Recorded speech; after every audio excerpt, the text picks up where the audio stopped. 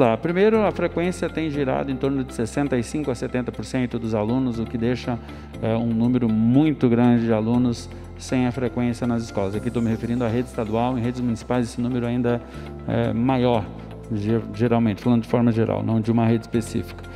É, e obviamente nós temos o desafio, especialmente dos alunos é, que estão se evadindo, não é nem que ele está indo, é, é, não está indo presencialmente, mas ele não está nem entregando as atividades. Então, quanto mais tempo nós demorarmos, pior será para essa geração inteira.